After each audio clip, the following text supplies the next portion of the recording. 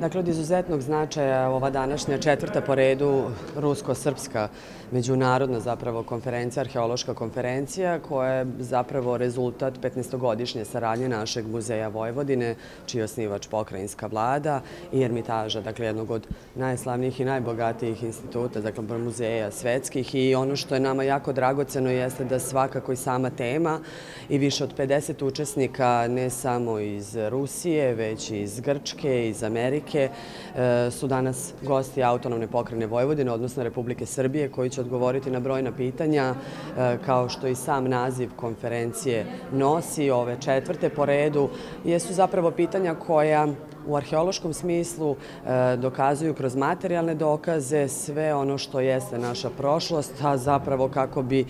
zaista u najboljem mogućem smislu gradili našu budućnost. Dakle, arheologija kao važna grana jeste i sve dok je zapravo naša istorija u onom materijalnom smislu. I zato su važne ovakve konferencije. Nama je drago da je evo po četvrti put, odnosno četvrtu konferenciju je domaćin naš muzej Vojvodine koji zaista to organizuje na jednom visokom stručnom i naučnom nivou i nama je drago da su nam danas svi ovi gosti ovde i eto više od 50 učesnika zapravo i svedoče činjenici koliko je ovo važno na međunarodnom nivou održavati ovakve konferencije, a opet kažem kao rezultat 15-godišnje saradnje Muzeja Vojvodine i Ermitaža iz Rusije.